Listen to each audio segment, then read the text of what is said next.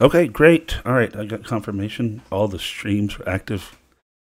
We are broadcasting simultaneously on Twitch, uh, Facebook, and YouTube. So, um, welcome. So, uh, my name is Jeffrey Wilson, and um, I want to first um, take the chance to thank the guys at 80, 80.lv for, for uh, giving me the opportunity to do this webinar. Uh, and uh, hopefully this will be the first of many, many to come. So, all right, um, let's get started. Um, I'm Jeffrey Ian Wilson, and you're probably asking, who the heck is Jeffrey Ian Wilson? So, um, I've been doing computer graphics, 3D, for about since 1993. So, I worked on Maya and Max before they were Maya and Max. So, um, I've been around for a while, uh, doing a variety of different things. Uh, especially training has been a big part of what I do. Keep this pretty simple, quick. Um, if you're interested, a little bit but more about me, uh, who I've worked for, um, you can go to my website, stop www.jeffreyianwilson.com, and um, you can peruse that. But in a nutshell, most recently, uh, you know, I worked with a, a Gentle Giant in, uh, in Burbank, California, on several major films. Um, most recently, the Fast and the Furious film. Um, I've been a character artist at uh, Treyarch and um, Tripwire Interactive. I've been a generalist at um, Logan in, in uh, Marina Del Rey. And uh, I've also done a lot of work for the Army uh, back in Huntsville, Alabama, and NASA, and a variety of different projects. So I'm a bit of a jack of all trades, and scanning has just become my, most recently a big part of what I do. But it's uh, just a part of the arsenal. So, all right, um, this webinar is basically going to focus on it's an update to an earlier website I did called uh, single camera head scanning. And uh, um, and you can find this on my website or just you can pretty much just Google it. You know, it's uh, just type in single camera head scanning with Agisoft PhotoScan, and 80.lv has got a link to it. And I did this video.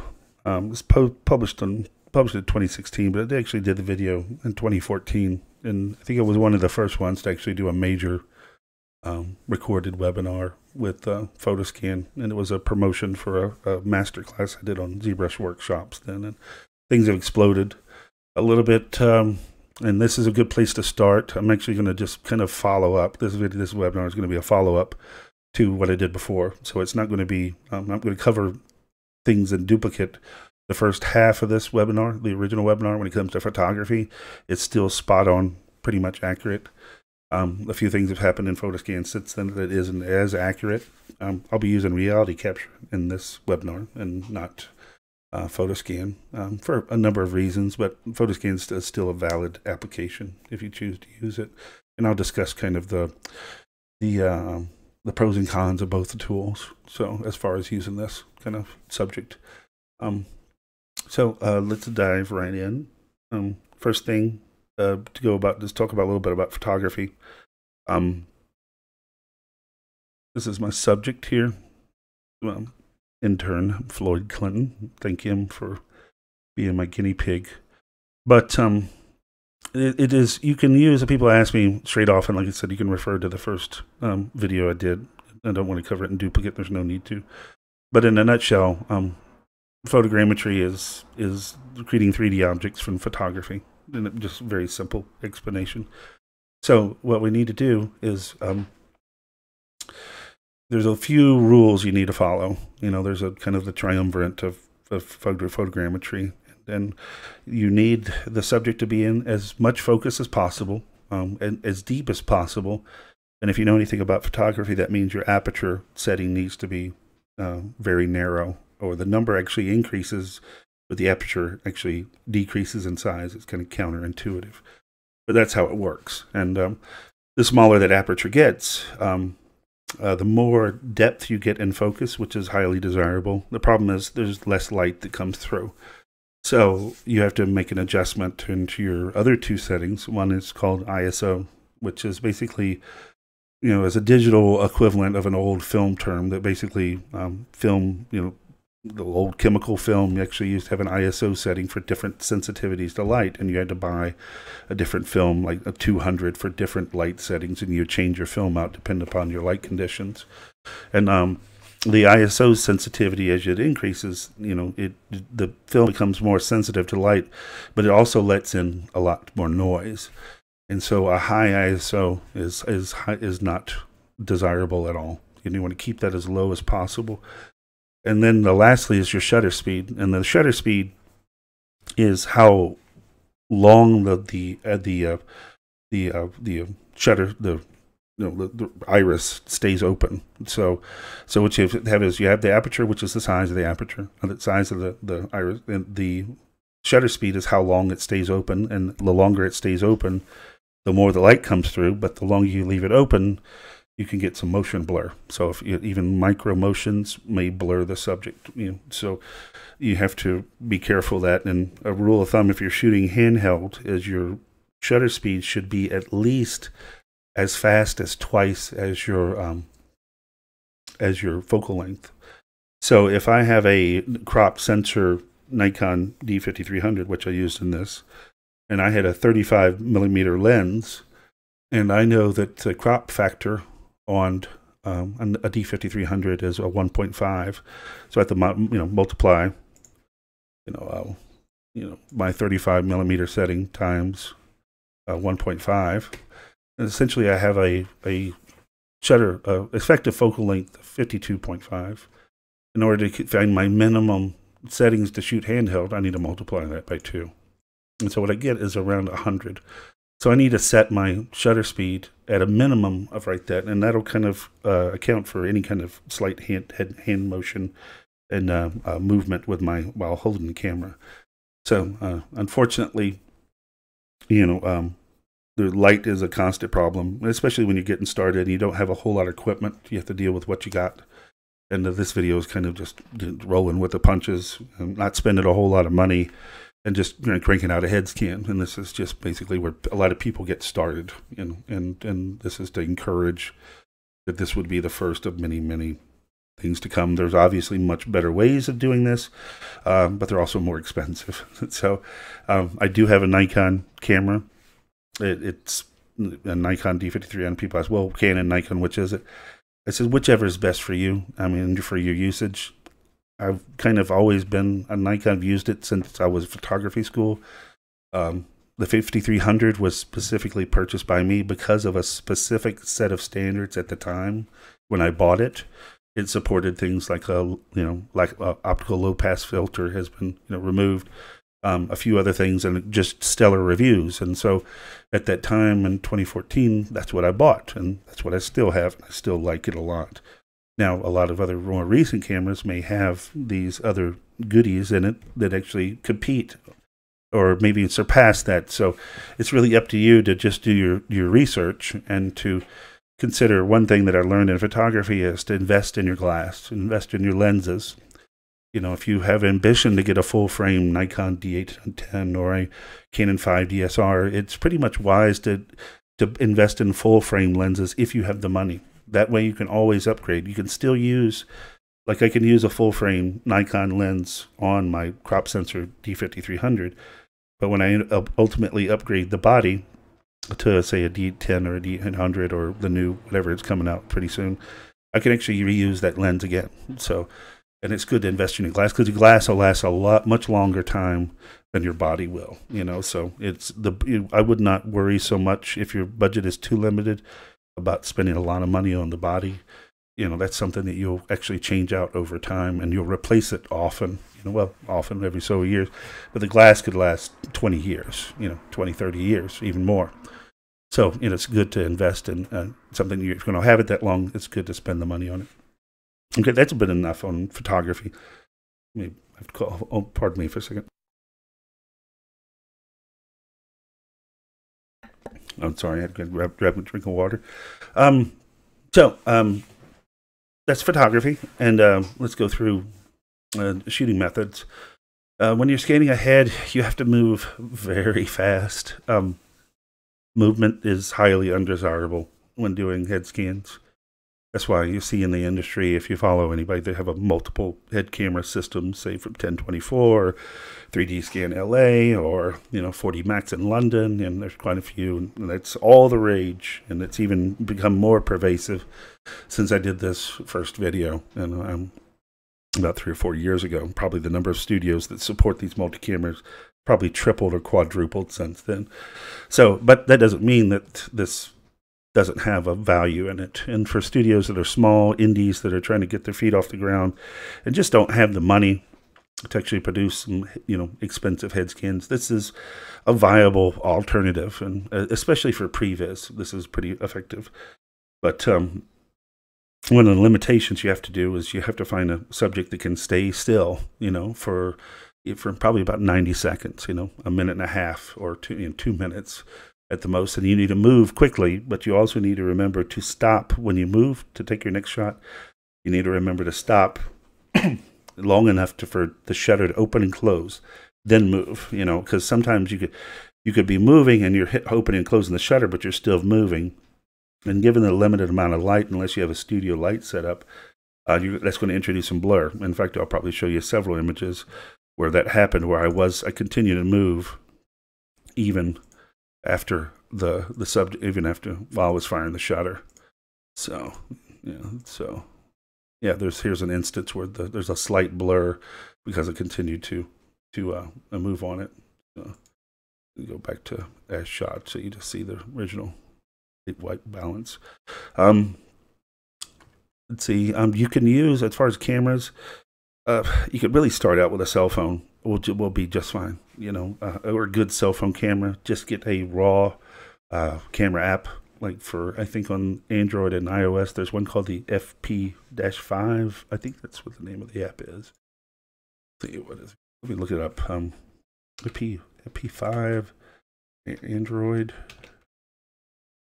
camera. I think that's the name of it.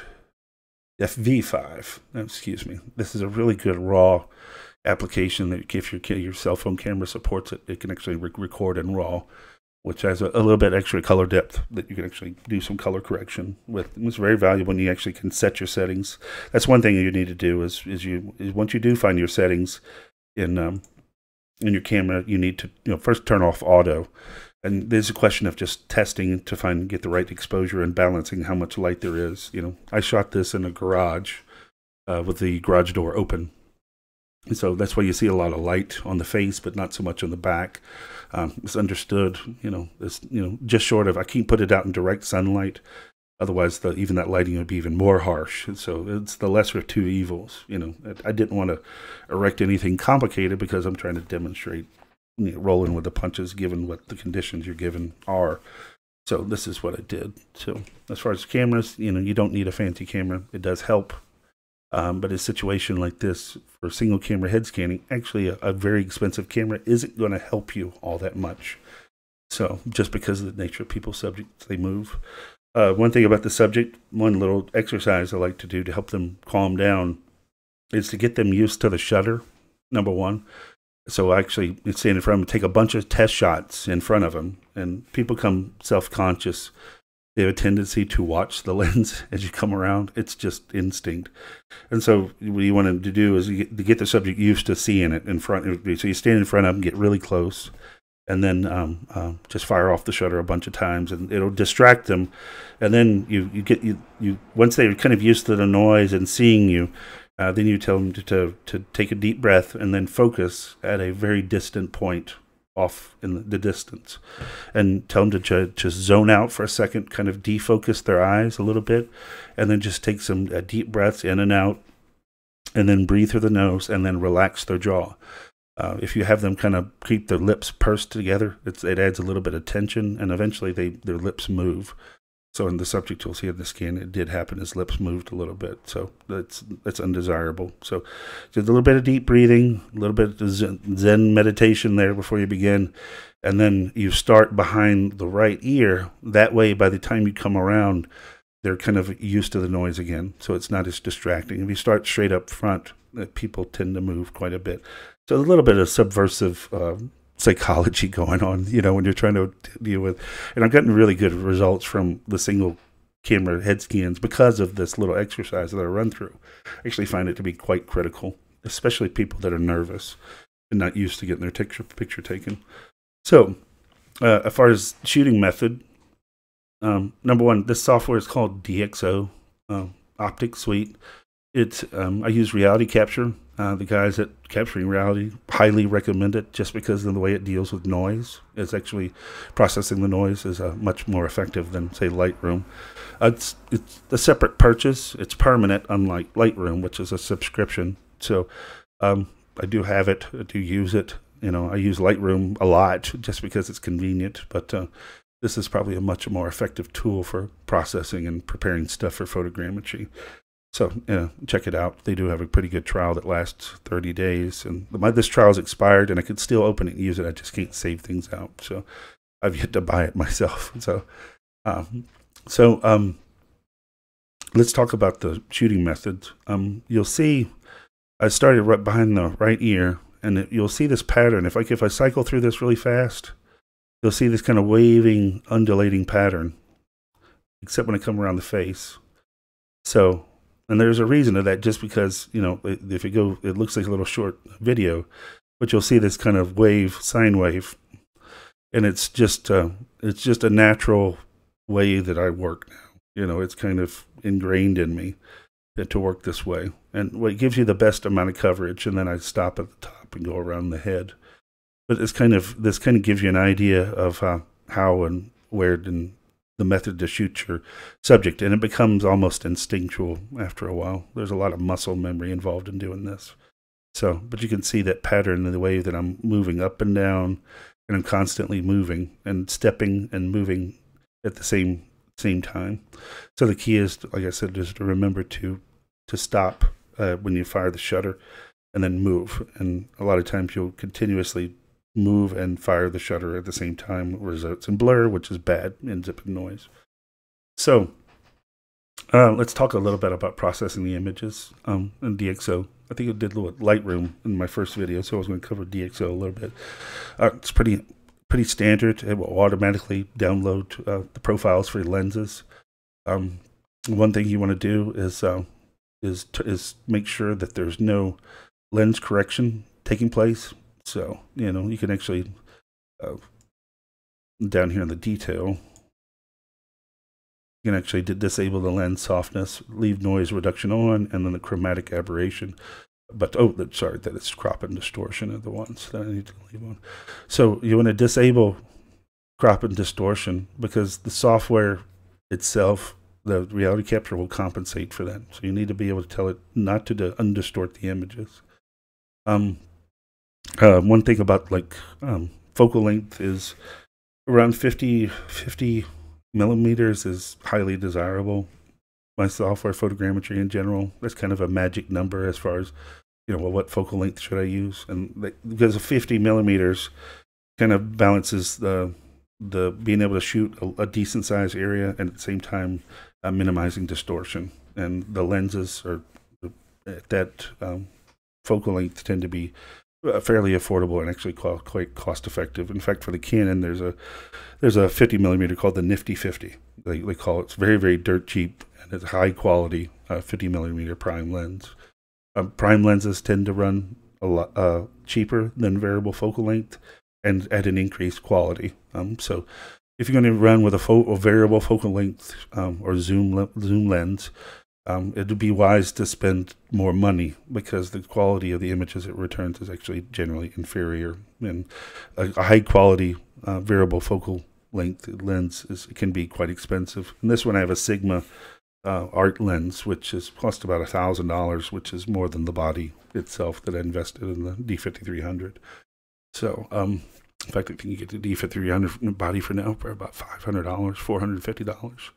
But my lens has actually held its value so you know that's back to my previous argument or explanation that lens is always a good investment. It'll hold its value. So um back to to the to this little rhythm. So i'm shooting my little rhythm. Um i'm going to adjust my images. Uh, first thing to probably do is white balance. Um it's a little bit tricky in here. Um i did a i used a color chart here but because of the conditions and the the the the um, the uh, pardon me for a second uh, the garage and I'm actually exposed to the outdoors. I've got two sets of different colored light, and so what I did is an average of between the front shot. So I sampled the front, and then I did a, a color balance check on the back, and then what I came up to was a value that was somewhere in between. You know, so if I did a a raw color correction and I selected my white node, it's going to actually be quite turn the image quite orange. Select all those. And so it'll actually apply the white balance to to that temperature. So let's go. But you will notice in the back of the other ones they turn a little bit blue. Some of the images turn blue because I'm I'm moving more into the shade. So well, let's find a good image to find to work on. So here we are. So this is uh, the color corrected. This a bit seems a bit harsh on the on the orange on the warmth. So I may dial it down to pull a little bit more. So say 7500. A little bit blue, and you know, and then the the tint. I know. So you're just trying to find a a little bit of a balance. You know, like they went a bit too much green there. So this is pretty much, uh, in the studio setting, you can control your light a little bit better. Oh. I'm just trying to find an innate, I've done this so many times, I'm trying to find an innate balance between the two. So, it's actually reproduced. It's consistent across multiple images. A little bit rich. So.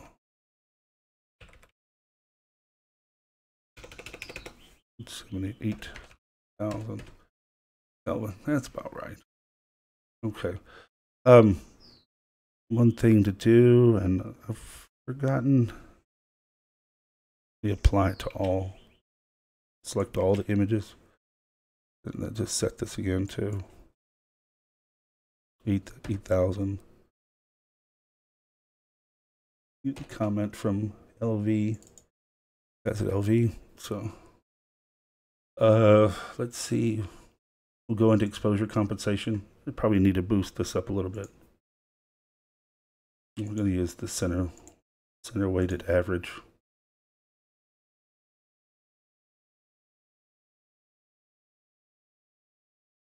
Getting a question to check if all screen fit to the translation.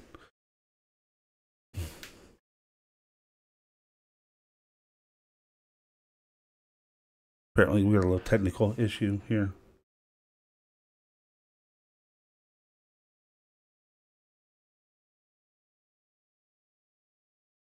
But Pardon me for a moment. Is the entire screen um, being able to be seen.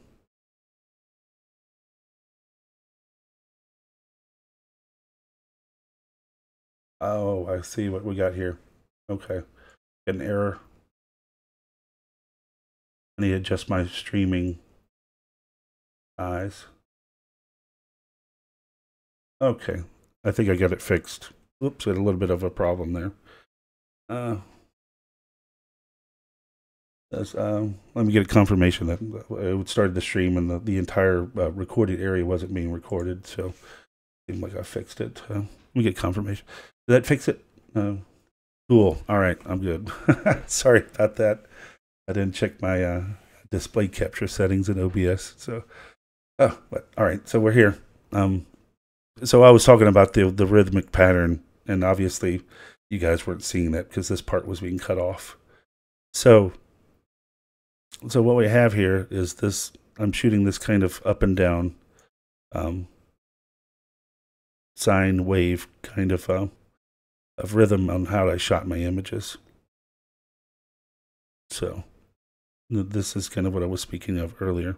You know, it's kind of it, becomes like I said, muscle memory. I've just I've done this so many times, it's used to it, and I use it this method for shooting all different kinds, but it ensures the most uh, maximum amount of parallax and movement and offset between images. you don't want to stay still when you're actually shooting your images. You want to constantly be moving, um, except when you're opening and closing the shutter. So, so let's go with, um, let me turn some of these other factors off. So um, what I'm going to do is probably boost, just go with the manual, just boost my, that's probably a bit too much, my exposure up a little bit.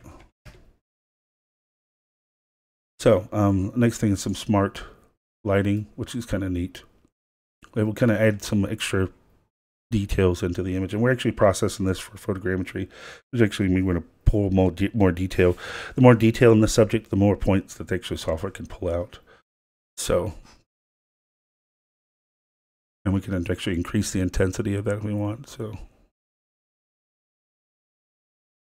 does that, and then we can selectively tone and pull up our shadows if we want to. You know, drop our highlights. Then me pull our midtones down a little bit so it comes a little bit more muted. And then we can actually turn on clear view, which does a little bit more. It kind of changes it not to to uh, what's representative because we can actually do this. We can record and do one set of images to actually develop the geometry and another set to actually texture the, the subject with. But uh, let me just turn on the micro contrast a little bit. And micro contrast kind of helps to pull out some of those little details that are here so that the software can actually lock onto. And you'll see I was still moving. I don't know if you can tell this. There's a considerable amount of blur here uh, where I was moving. So I pull the micro contrast up, and, and when I'm done and I've got a nice set of settings that looks consistent image to image, what I'll do is I'll actually export these twice. So I'll export once for textures and then I'll export another time for geometry. And what I'm working on here is more for geometry. The textures need to be as close to the original uh, exposure as possible with maybe a little bit of shadow, highlight, and midtone adjustments, as well as your light balance and um, some exposure compensation. So, so the other ones where I'm fiddling with the contrast and all these other settings, uh, probably not. Just leave them alone. So so that's enough on uh, processing the images. Next step was to let's build a 3D model from it. Of reality capture, you, this is a piece of software for a company called Capturing Reality. Very powerful. At the time, right now, there's a it's a subscription model of of ninety nine dollars every three months. It's an odd way of doing the subscription, not monthly, but um, so it's not too bad it's you don't own a copy of it. There's also a Steam version. So if you use Steam and you're an indie, um, the Steam version is actually quite effective because you can actually move your license from machine to machine, uh, unlike um, the the subscription version, which is actually tied specifically to a specific machine. So if you have a small indie studio with a you know several Steam accounts, you know, or, and you move from one machine to another, you could start up the the uh, um, the process on one machine, go to another one to work, and actually be able to run reality capture. So there's this a discussion of the the the differences between the subscriptions. So it's fairly straightforward. Um, their interface is a little bit um, different than what you're probably used to seeing. Uh, but once you get used to it, you actually really like it. I do. Uh, I consider it was quite jarring because it didn't quite look like what I was used to as far as working in uh, 3D apps. Uh, but like I said, it, it's it's much better than say ZBrush, which changed the interface quite dramatically and not to a positive effect. But there's a logical tab and and movement through the what's available based upon the tabs as you move through, as well as this is your configuration. One of the first things I'll do is actually to change the configuration to this split mode here, and you can change the viewer to, to help. Now, the neat thing about, um, and this to the photograph, the 2D, and then this window is 3D. Nice thing about you keep the help open. It's contextual to whatever process you're currently using at the time.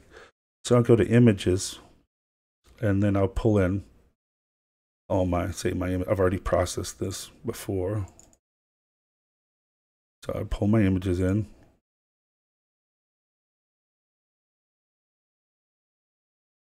So, and to take a look at them, I can actually drag and drop them inside here. So I'm going to find another one.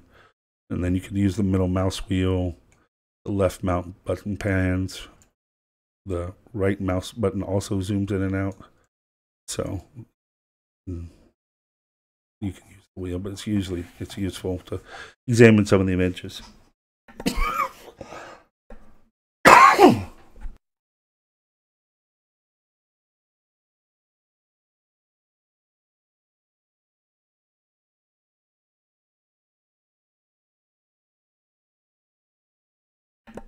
So, so there, there's that. Pardon, had to take a break there for a second. Um, you can double click on one of the images and it'll pull up the statistics for it. Um, one of the first things you want to do is to open up your workflow settings.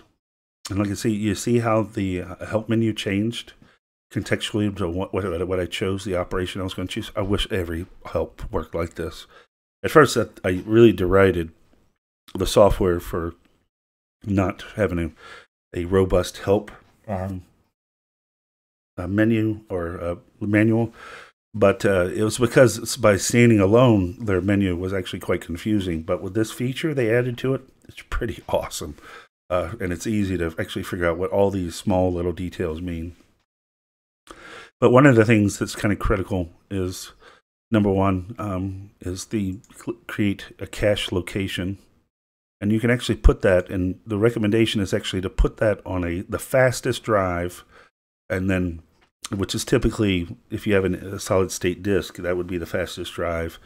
And if you have a second second fastest uh, ssd drive that, that's not the system then put it there and the cache is this just temporary files that the software needs. And the faster it has access to it the better. You know, it's also recommended that you move and copy your images to this fastest drive as well. So an ideal configuration would have a uh, a system with a solid state disk drive, a secondary drive with a solid state disk, and then a third a drive for for storage for long term longer term storage, and then you just move the the files off the uh, the second SSD as needed.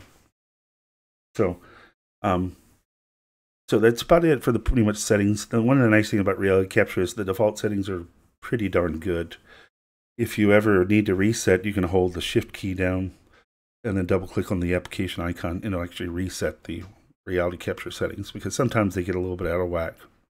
So, um, so we've loaded our images. Um, the next stage is to align.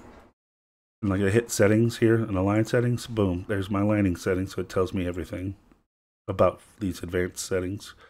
Um, I have gone in and changed a few things. I think the default is 10,000 um, max features per megapixel, and then um, max feature per image is set to 100,000. So there's a little bit of math involved in, on this, but it's actually quite easy to explain. You know, so well, what what what is a feature? And, and so you can explain the maximum number of feature points per megapixel for the natural features detector and alignment. And basically what that means is a software algorithm is going through each image, image per image, and it's find, trying to find a common feature, say a pimple or a, or a skin pore, that's common among multiple images, and that's called a feature. So the maximum number of features per megapixel, you know, megapixel is basically, what is it, 1 million pixels, is not? So let's see, like for my camera, wait, megapixel. So if I look at my statistics for my image, it's a, a width of 6,000 or height of 6,000 and a width of 4,000. So, and I know my camera is a 24 megapixel camera. So if you take 6,000 times 4,000, you know, it's 24 million pixels so 24 megapixels. So the max feature per megapixel is, is basically a multiplier of that. So if, um, and sometimes I've seen people dial in just crazy numbers that are actually more megapixels than the image actually has. So if I would wanted to use the mo- the entire image, you know, I need to be careful. So if I use 10,000 the default is 10,000. So 10,000 features per megapixel, and then I have 24 megapixels. That's that's 240,000 points. So if there's 24 million points, that's roughly around you know 10% or 10% or one. So we get two extra zeros in there. So um, it's obviously a, a little bit low, but you have to be careful. If I dialed in, like I saw one instance, someone had dial in 100,000. And the problem with using 100,000 megapixels is 100 times 24 is that is, you know, 10% of the entire image, which is a bit crazy, you know, so there's a bit too much. I mean, you could have too many features, and not to mention it takes a long time to compute. Um, the maximum, especially if your maximum features per image is set to 100,000 and your max features overwhelms it, so it gets cut off anyway. So there's a nice there's nice balance, and the the the defaults actually come in pretty well. Like I changed mine to like 25,000 and 10,000. Uh, image overlap is just to measure how what percentage of the image is actually overlap. So if there's a common point here, like you know how much at what percentage can it be seen in the image, and it explains it here in the help menu a little bit better than I can. So it's really good. Um, a little bit of other things I changed here is the pre-selector uh, features uh, needs to be roughly equivalent to the max features per image. I think it's recommended it's one quarter or to one half and I usually only fiddle with this if I'm having trouble with alignment. So, uh, and then I set the detector sensitivity is I set it up to a little bit, be a little bit higher. So it, it actually take a little bit more time to find those points if it can. And if it can't, it will, you know, disregard. The only problem with turning your detector sensitivity up too high is it will um, result in a lot of noise. And you will see that my scan did. So I think we're clocking in at 40 minutes right now, so I'm going to process this real quick. So I've already processed this file before, so ahead of time. So the the next step is is extremely simple. Once you get your alignment settings, you click on the alignment tab, and then you just hit go, boom. And fortunately, for the most part, this uh, solved and found all the cameras, or uh, 20, 127 out of the 141. So, and some of them were very blurry. So there's an obvious reason why it didn't solve. So the first thing you need to do, and you can see that undulating pattern that I mentioned a little bit earlier, where there's this little waveform. So you can see that better in the in the shot image. So uh, once you have that, you, know, you can tweak, tweak the tweak the values a little bit.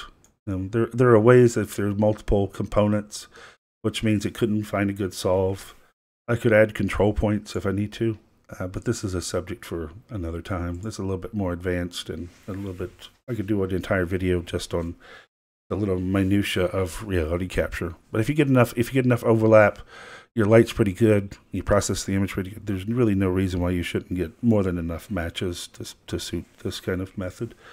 So, um, I did it first at a real low resolution. So it set alignment. Just you just hit the line button um, the next step is reconstruction, which actually takes that initial tie point cloud and converts it. Um, what I like to do is actually to reorient my scan by kind of aligning it to the the XYZ axis so it orients correctly. So there we are here. And so uh, and then the next step is actually to define the region if I want to build the mesh from. And so usually I define it automatically and then I go into my scene tab and actually um, tweak it manually. So you just click on the edge that you want to limit it to and just move it via these little fobs. And so I would define that area, move to the left side, and then define it again. So manually is you actually draw the box yourself. So you don't, you don't start with something. But I find that it's useful to use automatic it gets things done pretty quickly. So, um, the next step is reconstruction. If we go back in the settings again, um, I could go through this, you know, if I, you know, but like I said, the help menu does a really good job of explaining everything. And then it's just a question of repetitively using it to get, find out what each one of those does. So the next thing is I did a quick um, low resolution, which actually downsamples the photographs when it creates the the geometry. And so that's one of the settings over here. Is you know what what uh, how many you know the image downscale for preview is four, so that means it's one quarter the resolution of the original image. Uh, normal method is basically half. So you can actually dial that in. So if you want a specific kind of look, like I've noticed in hand scanning, that normal is actually probably the best setting um, to use. High just would seem to return too much noise, you unless the subject's completely and still. So, so you can adjust those numbers, how much to downscale the image before you process it. And this first head is is done with a downscale of uh, the preview. So I just did a of rough preview and defined my volume again. Um, the next one is the the processed on high, and you'll see there's actually quite a bit of noise to it, but there's a lot of detail to it too. So I did keep it. Here's an example where the lip moved here. So here we go. Um, let me make sure. Try to open up my Twitch panel. If there's any questions. I haven't looked over here yet. So um, it's a, it's a pretty easy and straightforward process. I mean, it looks a lot more complicated than it is. Yeah, but it is what it is. Can it, but it can get also very deep at the same time. Uh, I I kind of liken photogrammetry to chess. In other words, I can explain the rules to you very simply, very quickly, but it can take a while to actually put all those kind of the stuff that's non uh, what you see here is pretty on the surface. There's a lot of deep understanding of the nature of like your sensor, your lens, um, just by experience, knowing where to focus, how often, how many shots give you good coverage, and that just comes with time. That that's just something that's going to come with time. You know, uh, I found that some people can be very very good scan techs and can't draw worth a, a squat. Um, in fact, some studio trained photographers have trouble because they try to frame the subject nice and neat. And if you see in my images, you know, it's not nice and neat. It's kind of an angle. And well, why did you shoot at an angle? Well, I'm trying to maximize the number of pixels that the the uh, that the camera is modifying. So you actually end up with an ugly picture. What someone would consider that's not a very attractive picture because of the frame. Well, it doesn't matter because you're trying to use as much of the real estate as possible. So, which explains a lot of stuff. So, uh, back to reality capture. So we got a high processed. It's a bit, just a bit too noisy. You, are gonna, you're shooting a handheld. There's really no way around it. But I did get some nice wrinkle details here, up in the forehead, and there's some other minor details that came through. The nose, the, the ears came through really nicely. But you'll have to smooth those out. So the next step again is to, um, as I, you know, just cleaned it up, process it again, and then I dropped it to, to 20 million uh, triangles using, if you go in the reconstruction tab, the filtering and simplify tools are pretty helpful. Filtering is let you define a box and then say select a bunch of errant points and delete them. So, or polygons, triangles. And then simplify actually decimates the scan. So I decimated to 20 and then brought it into ZBrush. Um, this is kind of a quick remeshed model that I did, you know, reproject the textures. But once you're ready to texture the model, go to reconstruction, just hit that texture. Now the texture settings are a little bit different. Um, you have to be careful of it. Um, there is it's here in the coloring and texturing tab. The maximal texture resolution is I think usually set at 16k. Um, that's a pretty good number for photogrammetry, but you know, for a subject like this, really the head needs to be no it's it's a crop sensor camera. I didn't shoot too tight. Uh, 16K may be a bit overkill, overkill, you know. So, and I can't bring a 16K map into ZBrush anyway. So a lot of times I'll just set it to 8K. Um, the style is how the software applies UV coordinates to the scan. So, um, and how it's distributed. Maximal texture count, that means that I could define a number of maps that I want the UV space to occupy. So I could say, you know, and 4096 is the recommended maximum, you know, for a lot for game engines and you know, software and rendering. You know, so what you have is okay, I want four 4K maps, and so you could define that there, or a single. And in this case, when I did a single 8K map. Now the nice thing about it is I could continue to sculpt but I can always come back and re-unwrap and actually apply new textures. So you need to get something that's able you can work with first. Um, this is another shot. Let me see. This is processed at normal. So you can see that uh, a lot less noise. Uh, pardon me for a second.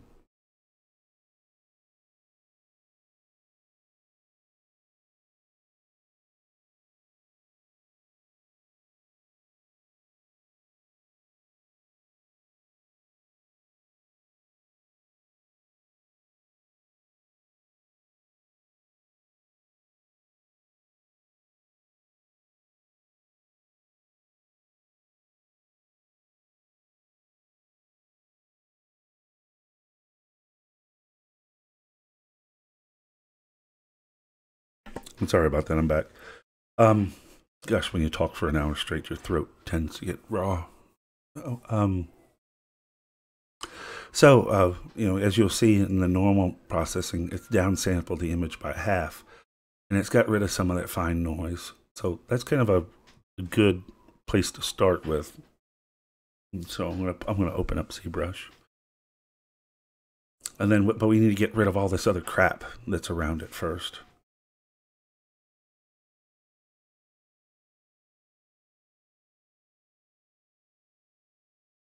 Give ZBrush a chance to, to load up. So,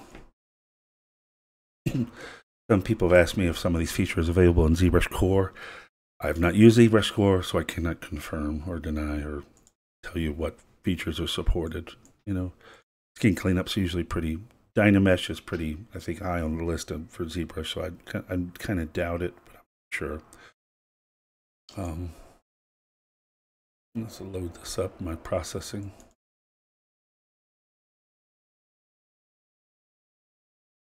We determined that the high just had too much noise and didn't return enough. So this is already kind of a rough cleanup. And the, the objective of this is just to get something that's nice and rough and cleanup.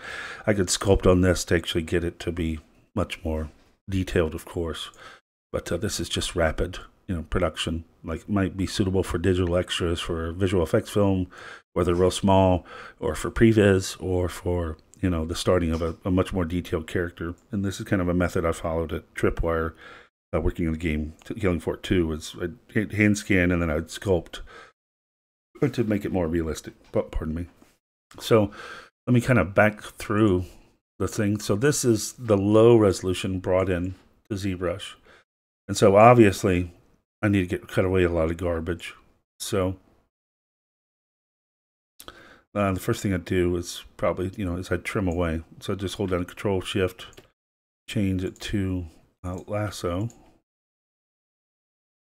And then what I do is I just select portions of this. Whoops, that's the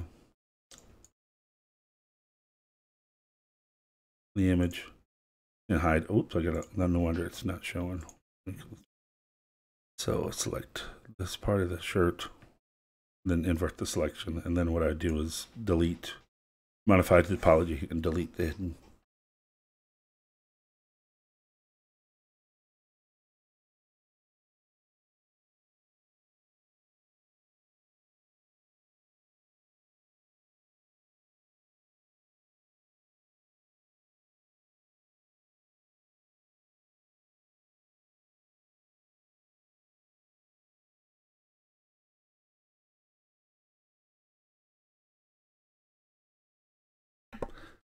sorry about that. I had that off for a second again. Um, you know, a little bit of a sore throat. So, um, so uh, I continue to clean this model up, and uh, and then maybe I did a little bit of smoothing on it. So what you'll see here is a kind of smooth down version, and this is basically becomes my my base mesh.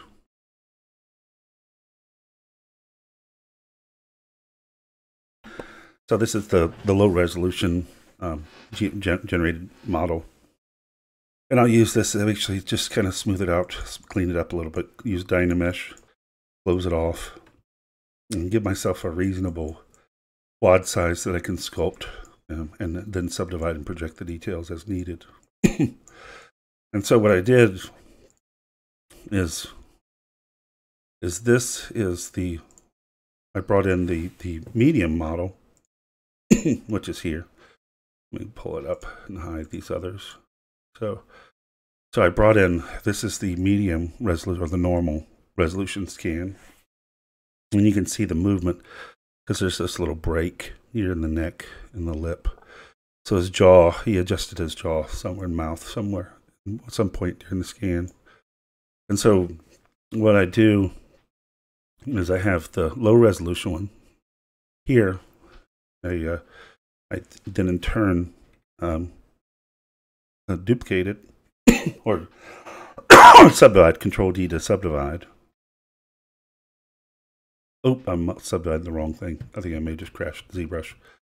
Had the wrong one selected. There we go. so uh, subdivide, and then with this showing the low, the high res one, go down to morph target, delete the morph target, and basically storing the the low resolution version, the position first before I project, and then I just go to the project tool, and I dial in a, little bit number, and I project all.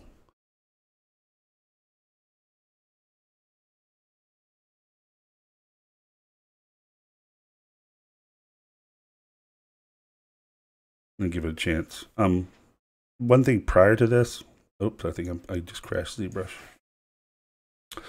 Is it probably is apply a UV unwrap um, prior to that that step. So give it a chance to load up.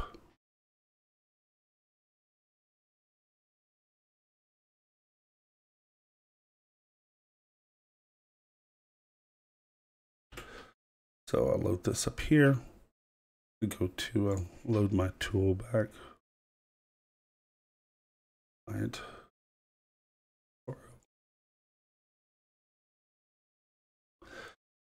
Oh, so let's load them back up. Back up.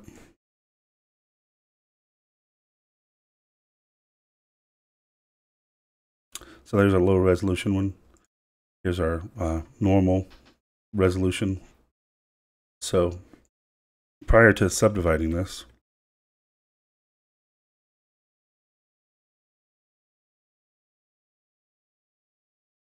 what I'm going to do is go to geometry.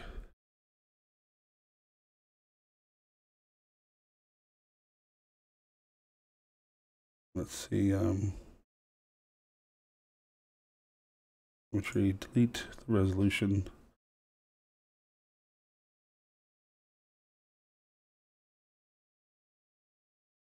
Oh, I know what I need to do. Still has Dynamesh activated. I can Dynamesh this object first. Turn it off.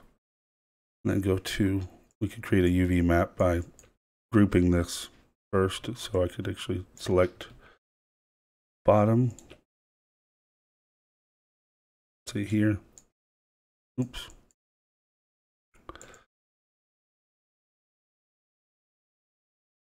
So this is just for rough UVs. So I go to polygroup create group visible, then hide it, then select the face.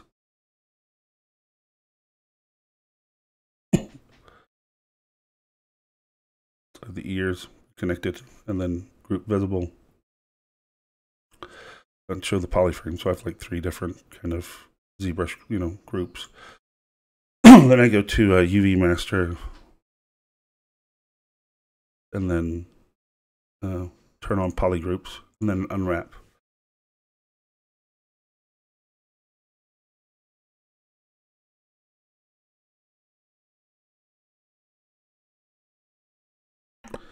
So uh, I just saw a comment, you know, on the Twitch forum about reusing the color from the photos and a good UV mapping is great. And that's the purpose. What we're trying to do is get a bunch of good UV map layout before we uh, try to bring it back into uh, reality capture for texturing.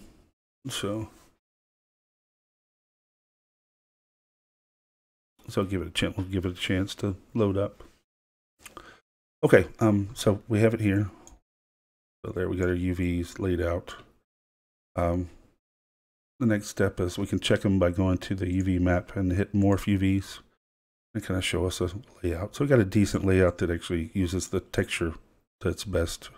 We might kind of change the islands a little bit, but that's fine for now. So, so we've got good UVs or decent UVs, much better than before. And then we'll go back to our subtool. We'll subdivide this once, then go to the morph target, delete, store it.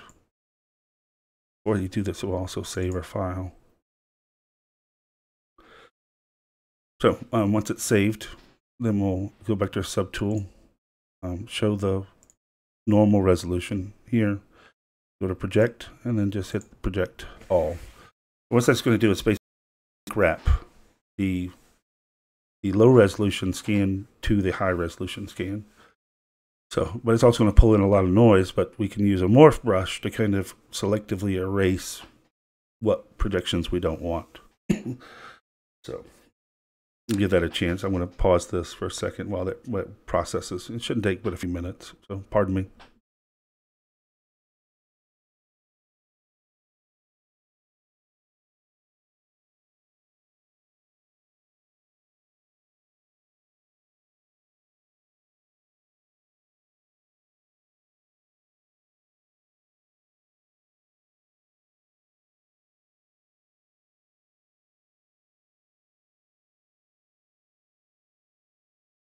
Well, that computed pretty fast.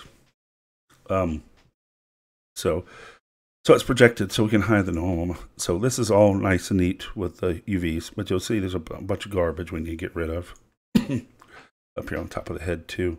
So what we'll do is we'll change hit B for brushes, M for, and then we M to select the M labeled brushes, and it, we'll select the morph brush.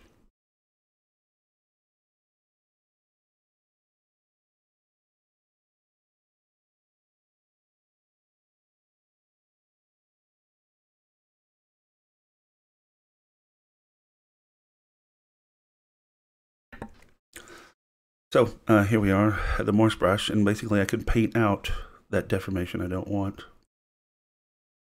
Um, makes him look like a friar. I don't want to do that. So I can change the intensity, you know, a slight intensity and just brush it in slightly where it's obviously wrong. Click and just keep some of the other stuff. Um, obviously, the stretching and the projections happen too much around the neck, so and I use the the soft edge of the brush to kind of clean that up a little bit. so it's morphing those that those points back to the original that I defined. Um, we could also kind of um, use a combination of the smooth brush and the morph, and we could add that noise back in. We can sculpt that noise back in. This is probably a case where I might use the smooth brush more than anything else. So now it, this becomes a, an exercise in sculpting. End of this class. This webinar is not about sculpting in ZBrush, but you've got a clean watertight model. You have to just basically be sure to go in. You see these little projection errors? You have to go in and kind of click your shift tool to shift select to kind of get rid of these spikes. But if you were th- wanting to 3D print, you could always sculpt out some of the ears and define some of this, you know, smooth out some areas if you wanted to.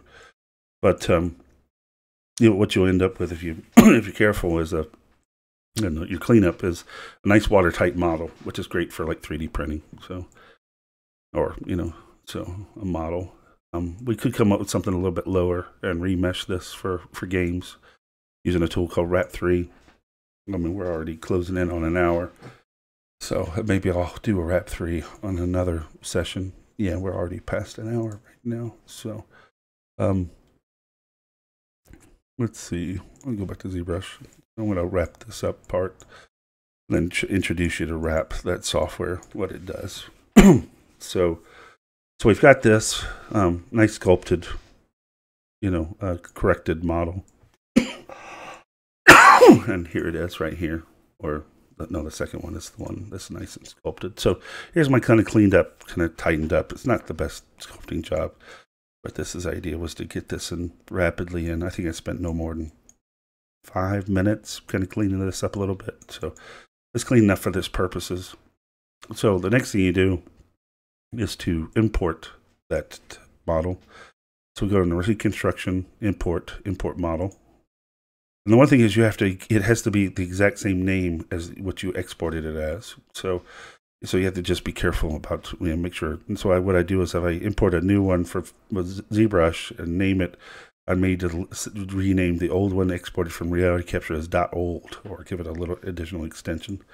So I brought it in, and this is the the sculpted version, you know, and then actually project the texture. And then projecting the texture is pretty straightforward. You just hit texture button again, gives you a nice clean.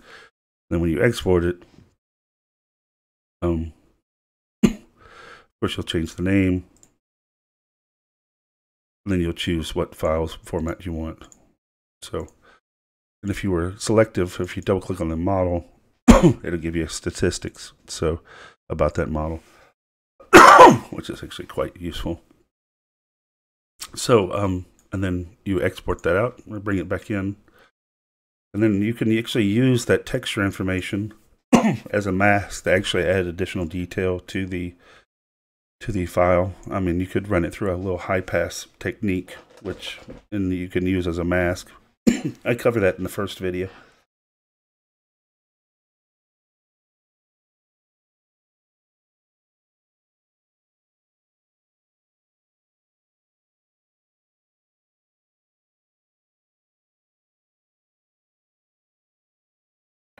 Uh, pardon me. Oops. Got a bit of a cough. Um, so we can pull that in. And like I said in my first Agisoft video, that um, that process is actually shown in depth, and it's like I said, it's free. You probably refer to the latter two thirds of it. But basically, we open up the color map in Photoshop. I think I'll just go ahead and run through it real quick. So, and show you how to do it. Might as well. Pardon me.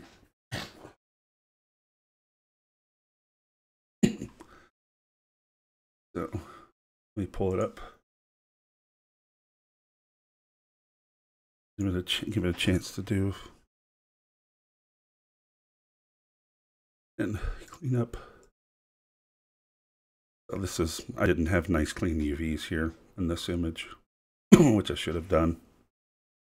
So, um, but it's easy. It's pretty. It's pretty straightforward. you do a, other a filter, other high pass you choose a number that's relatively shows some of the detail, but not too low or not too high as well. So usually five is a pretty good number. then you just adjust the contrast until you end up with a uh, a black and white map. We'll pull the saturation out of it. Okay. And then what you want to do, the image adjust curves, and you want the where the gray that's the neutral where it's white it, it comes up and where it, it's black it goes down. And unfortunately there's not kind of an offset set for the deformation. So what we'll do is we'll we're going to invert the, and make sure that both the up and down happens at the same time. So so so we're pulling we're basically remapping those details. And then we adjust the levels again.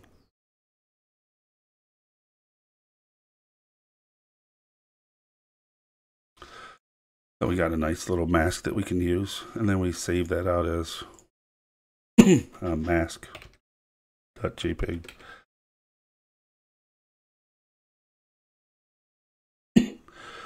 then we open the ZBrush file, go to texture, import mask, the texture, the mask, flip the UV. Why they have ZBrush makes you do that, I just do not know. Select the texture map here, the mask. The next step we're going to do is go to masking. We go to mask by color and then mask by intensity. So now we're going to hide the mask. Go to texture map, hide the texture.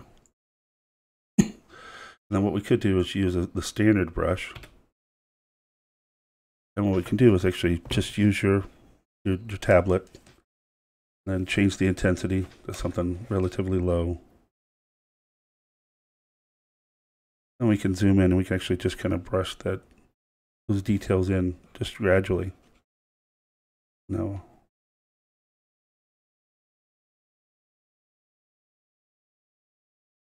Okay, do I have my mask activated?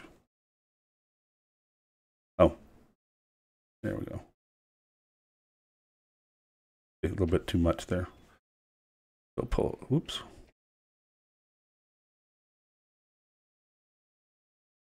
You see it's pulling a little bit of the details in there.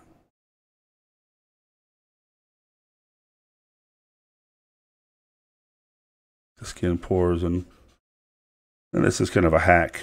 It's kind of a generally frowned upon in the community, but you know, it's a cheap way of getting some details if you're on a budget and you know just need or if the, the textures the characters are going to be small but it adds that little bit of extra uh, realism to it. You can get kind of the skin skin and pore effect. You know you can actually use the alt key to reverse you know the it actually come out. So like I might do that for the hair. But it just breaks that nice smooth that smooth effect down a little bit. So it shows up really nice in the normal map.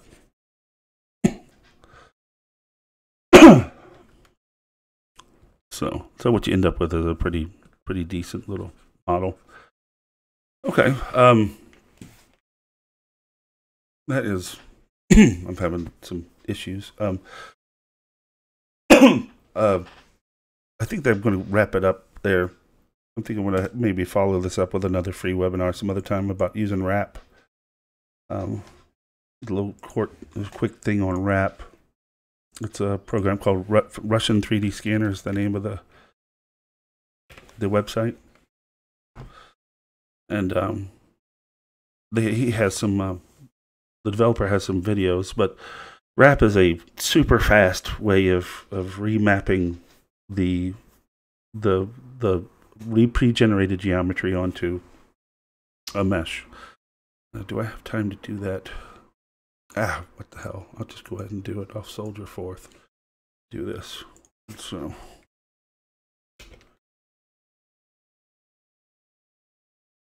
That's an hour normally about hours, you know, 30 minutes is the limit of a webinar. So thank you for those that are hanging in. So, so, um, so what we'll do is we, I'm not going to cover the, the basics of this, but I'm just going to go run through this. So I can load my geometry. I'm not going to go into too much detail. It's a nice little node based operation of the way it, things operates. So I've loaded my geometry.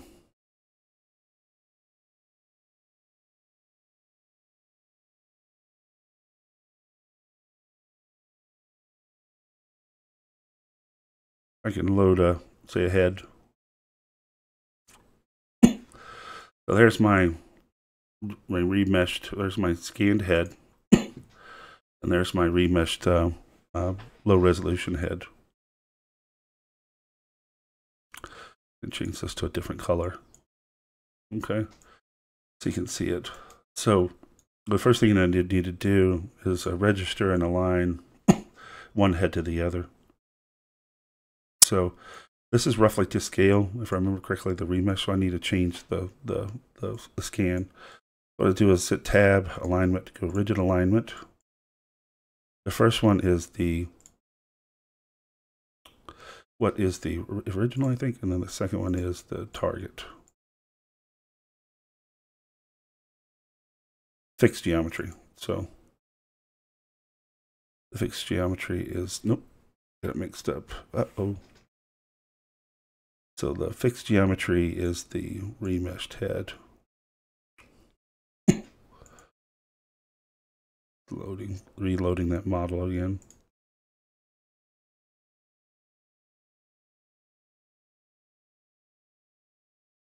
Let me just do this. That's the fixed, that's the variable. So alignment, rigid alignment, fixed. and this is the, the variable. So now we go in our little editor.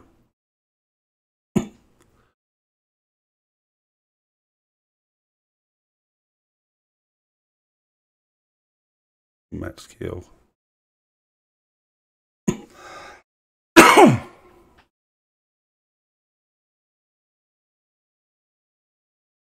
I'm having an issue here. The scale is not showing up. Digital alignment.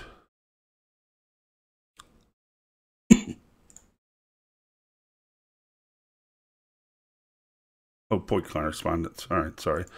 About to see that I have to create another node called select points and then connect these points together. It's Been a while since I used wrap.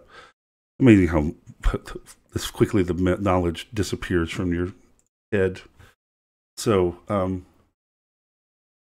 what we do is just do a, rough correspondence between points on the, mesh on the left and the right. So, so we'll get the corner of the eyes.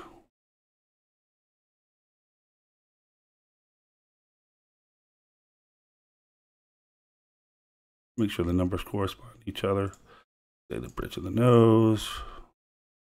Click and drag to move the, the item. Corners of the mouth.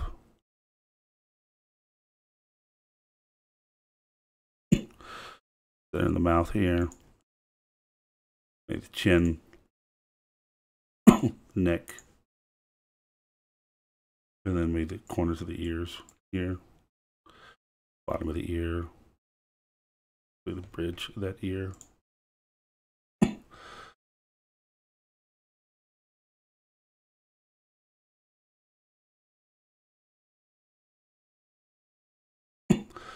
And then the forehead. Go with the forehead. and once you have that,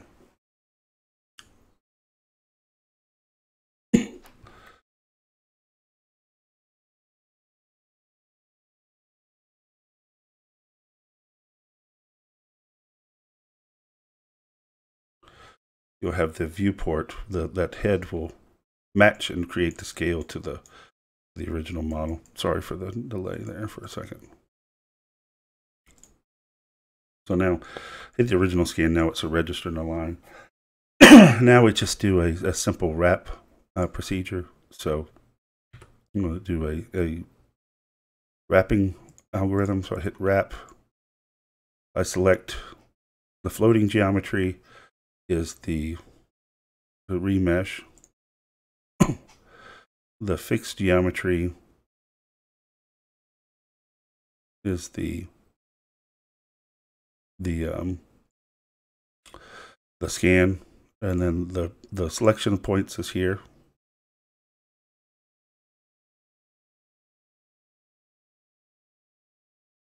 So that's the left. Nope i need to use a, a different one. A different uh, selection points. Selection points here that's the floating geometry is the the, the remesh. The rigid geometry fixed geometry is the scan. Oh it should be fine to use that one over again.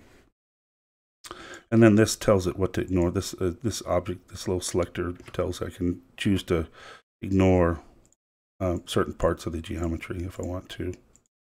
I could plug that into here, go into my polygon selection, and I could tell it to ignore, it. say if it had a mouth bag, which it doesn't. I could tell it to ignore certain things. like the nostrils, I could tell it to select the nostrils.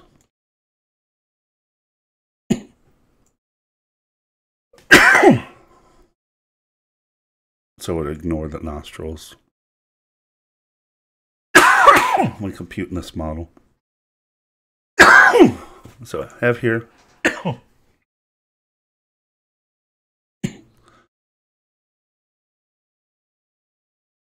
Oops. I need to use the fixed fixed realigned scan, not this one. There we go. so select it, auto compute. It should run. I'm missing something. Let me pause the video for a second, or pause the audio for a second.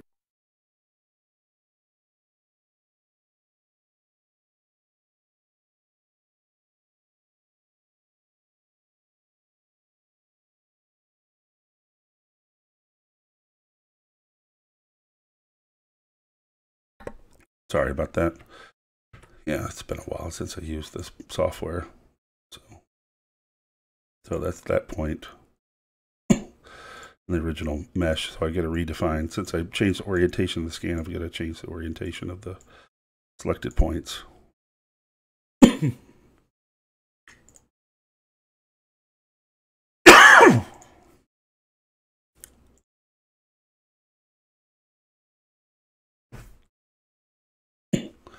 And I would spend a lot more time to to orient this, but uh, you can get the sense of how powerful this remeshing system is. Then let's go to here. Choose the neck. Choose the forehead. There. Base of the skull would be about right there. Okay, so now we have those points defined. We go to wrap. Hit compute. 3D point viewport. Hide that. And it's not working. what am I doing wrong?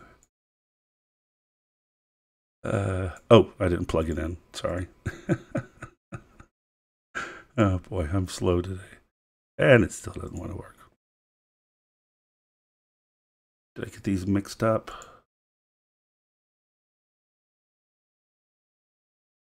Into a different selection. So let's uh, select points.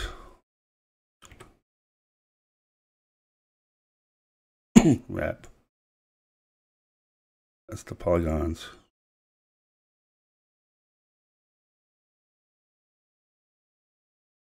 I'm having a crash. Something to do with the something's not operating correctly.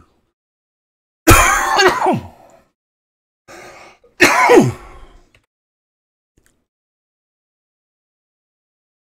there we go.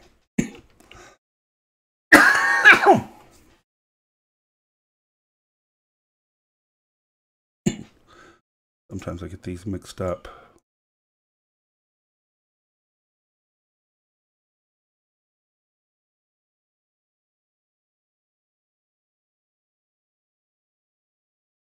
Have getting my wires crossed. Gosh, I hate to do this. This is why I didn't want to cover this this section right now. So, it looks pretty bad. I've done this a million times. Oh boy. Uh, no, I didn't want to cover this because it hasn't been a while since I touched it. So, uh, gosh, this would this is something I did to open up an old file, pull it up. Um, so I got the original alignment. Uh, soldier with me for a second. Like I said, it's just been a, a little bit since I've done this before. So I've got my rigid tools here. I went to um, alignment wrap.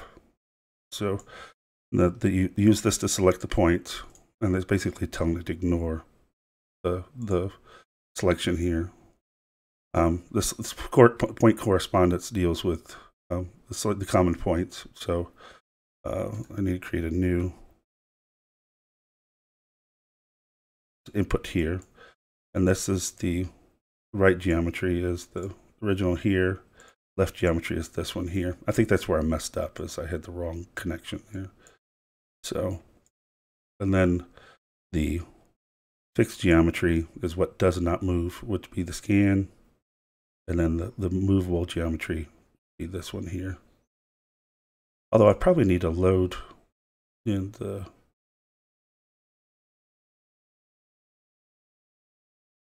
There we go. I did it finally. Sorry about that, guys. so I'll just hit compute. And what it's going to do is it's going to shrink wrap to those points. I'm a little slow this morning, guys. So you have to forgive me.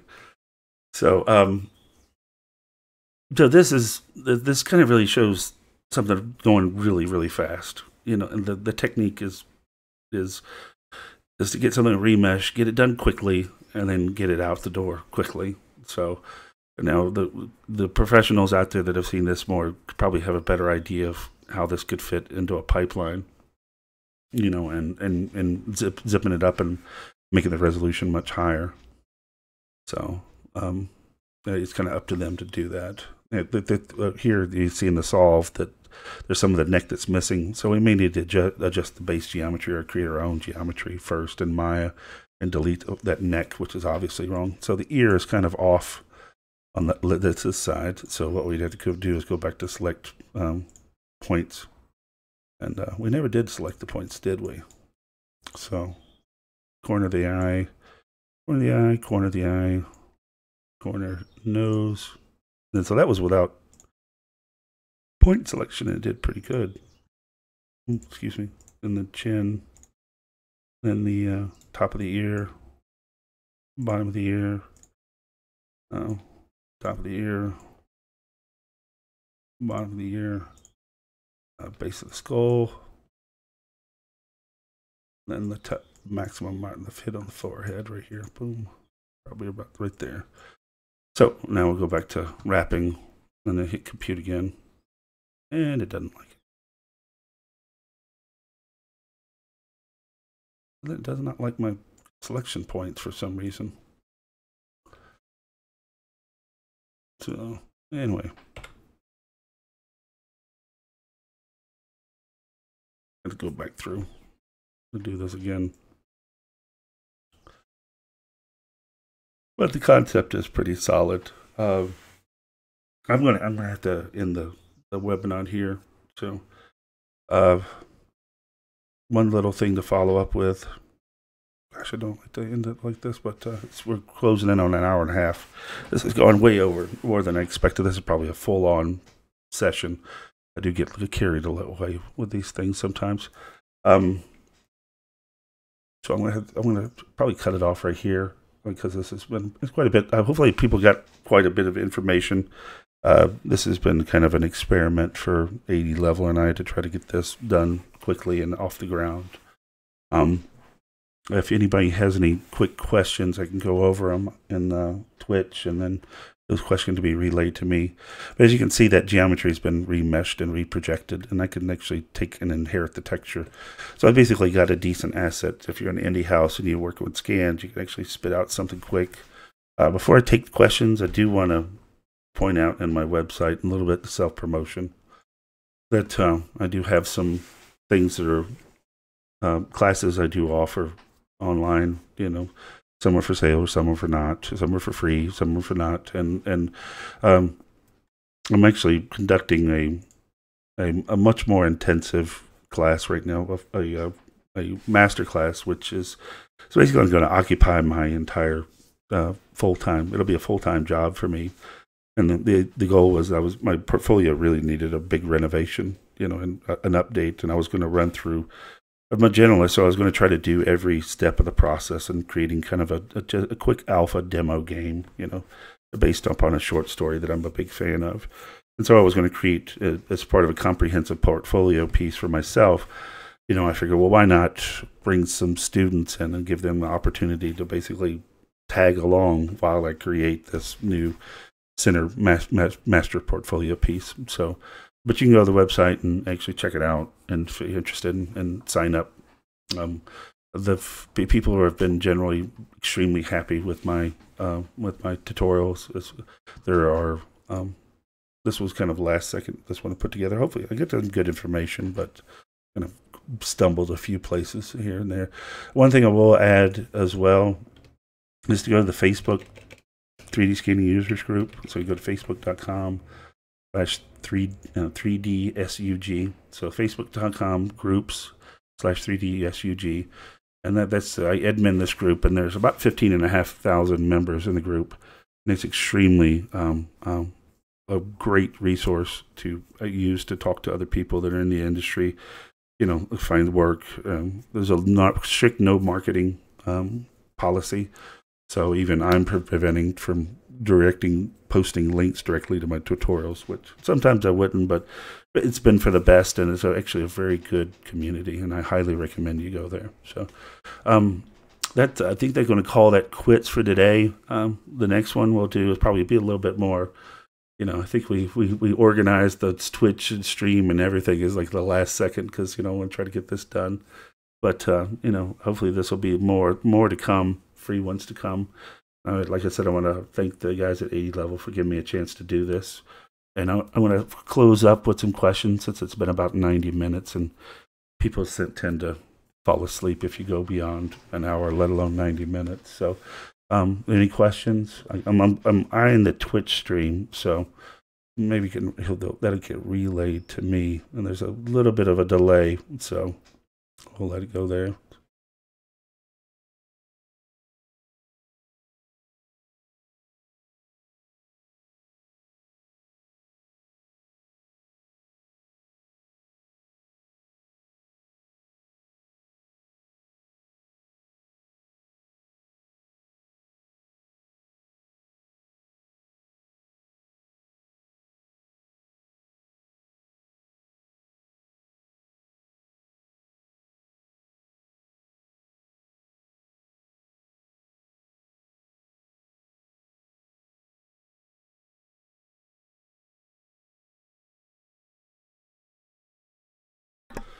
So, um, sorry, I'm gonna go through the Twitch stream. Let's see what we got here. I'll just do it myself. Uh, Sean's process. Thank you. Thank you, Polygon. Uh, let's see. Uh, Kaluo, interesting. Thank you. Thank you. Welcome. And more streams for Jeffrey. Quite awesome. Uh, I do. It's about Lumberyard and Unreal. Some of the other ones. That's good. Um, Great. It seems like there's not a whole lot of questions here.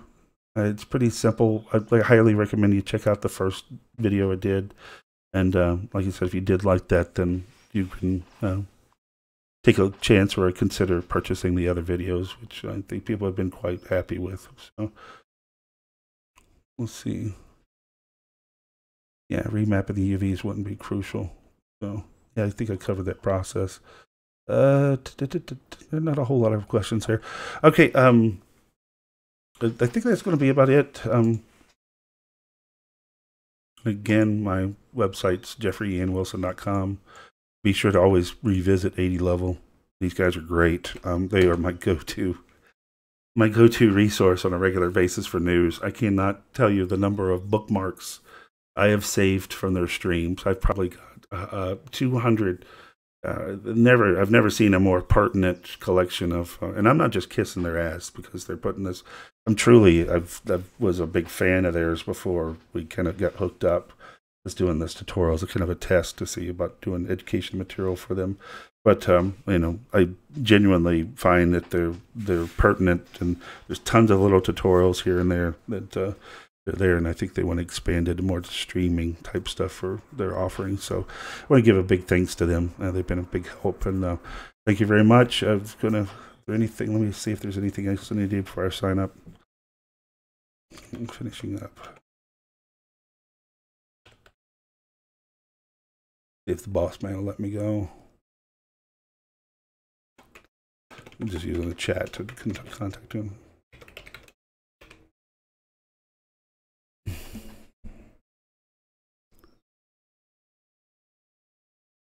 Okay.